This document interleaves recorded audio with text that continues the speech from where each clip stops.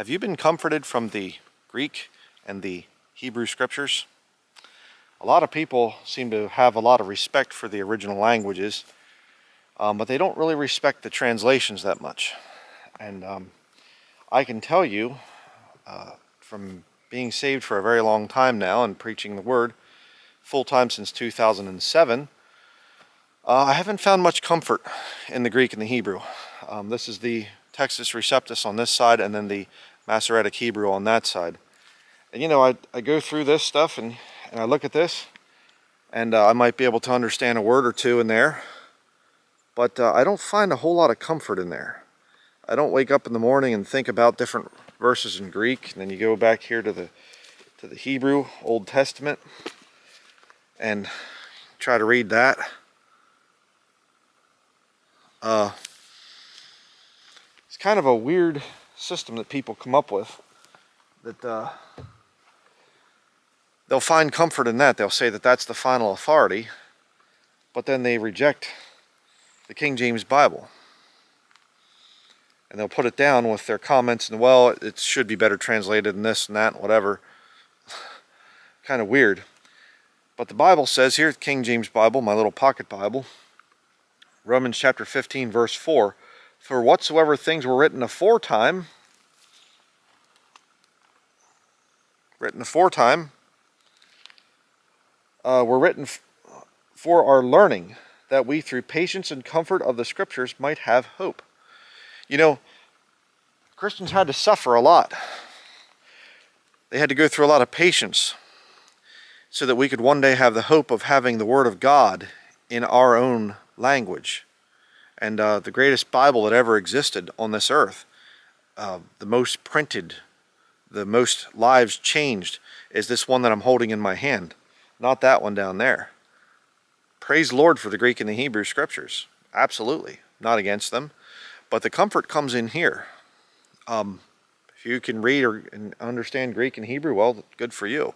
But most people can't. So I can preach and teach from this book and I can say that this is God's book, and it is. Um, and one of the reasons I can say that is because uh, I've proved it down through the years, and I've seen it proved in the lives of my viewers. I've seen that fellowship of the Spirit that we have. When the Lord reveals something to me, and He also reveals it to some of my viewers. And I've seen people that, um, not highly educated scholars or anything else, and they come out and they say, hey, brother, what do you think about this passage here, this you know interpretation, will this be the correct way of of uh, looking at this? Do you think it means this? Do you think it means that? I never thought of it that way before. Wow, that's really neat. We have fellowship of the Spirit that comes not from this here directly. It comes indirectly because the King James Bible is, is this translated into English. But I just want to make it very plain to you that you don't have to feel bad if you are holding up the King James Bible. You don't have to do that. You can have the authority of the scriptures in your tongue, in your language. Um, and people come out and they say, well, so then you believe that the King James Bible is the only English translation. Um, no, there were some ones before it that were from this line of manuscripts over here. Uh, the Tyndale, um, and you go up through the, you know, Coverdale and, and the Bishop's Bible and the Great Bible, and the, I'm getting them, my sequence of those things a little bit messed, messed up here, but, uh, you know, the uh, Geneva Bible. There were some good Bibles that came before the King James Bible, and you could be saved and things out of those Bibles. But the perfection came with the King James Bible. And the King James Bible has led to spiritual movements that this never produced. Ever. I mean, oh, well, what about the day of Pentecost, Brother Bryan? What about that? You know, 3,000 people got saved in Acts chapter 2. Well, I'd like to point out the obvious fact that they didn't have the whole scriptures back then. The whole New Testament wasn't even written yet.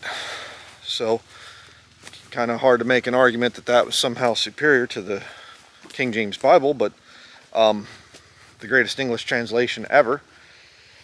But uh, the other point there is that uh, 3,000 people getting saved in a day.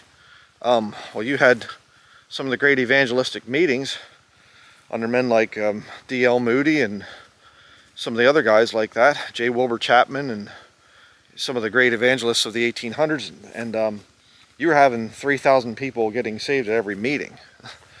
and, um, and huge changes um, changes to the political spectrum and things, and and um, a lot of people that were, uh, I mean, just revivals and and people getting away from alcohol and and uh, big, huge big changes. Study it. I can't get into all of it. I'm trying to just, uh, you know, this isn't uh, scripted or anything. I just say as I remember things. Um, you didn't see that with this there was persecution. They were hunted down and things, and and you know, praise God for the martyrs, uh, the early Christians. They went through some pretty horrible stuff. Um, but the power comes from the King James Bible, and that is a scientifically proven fact. If you want to disagree with it, well, you can disagree with it all you want to, but you're not right. Um, and what's the whole point? The whole point, brethren, is that you can either go and use a bunch of languages that are basically dead. There's very few people that speak Hebrew or the ancient Koine Greek. Or you can go with the King James Bible. That's been proven over and over again. You say, well, we have newer Bible versions that are based on older and better manuscripts. No, you don't. Um, what you have is uh, newer versions that are based on marketing. Um, Sinaiticus that uh, codex that one of the two, you know, what they call oldest and best manuscripts, it was a 19th century forgery made by a Greek Orthodox priest named Constantine Simonides, and that's all that it is. It's not an older, better manuscript. It's not from the 4th century. Uh, Vaticanus was around in Erasmus's day. Erasmus was the one who made the first Greek-Latin text, which later became the Textus Receptus. And Erasmus said that he knew about Vaticanus and he said it was corrupt. So I'm not using it. Hmm. So the two oldest and best manuscripts are not the oldest and they're certainly not the best. And um, the other thing is, if you study the issue, you'll see that a lot of these uh, better readings that they have in the new versions actually existed in the Douay-Rheims translation, which came out, ironically, in 1610, one year before the King James Bible. Um, and the real issue here is do you have faith in the book that you hold in your hands? See, that's the thing that I've said that I, have challenged people over the years with, and they can't answer it. You get the James Whites and things like this. He did a video years ago attacking me, and um, and I offered a challenge. I said, hold up the book. Hold up God's perfect word that shouldn't be changed or corrected or whatever else. Hold it up. He didn't do it.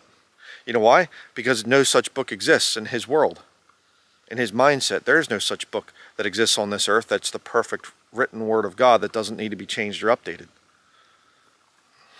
Now, I guess I'm a little bit of a dumb hillbilly because I just hold to this King James Bible, and when I actually, when I say that this is God's word, and that you can be comforted from this book, I actually believe it. Isn't that weird?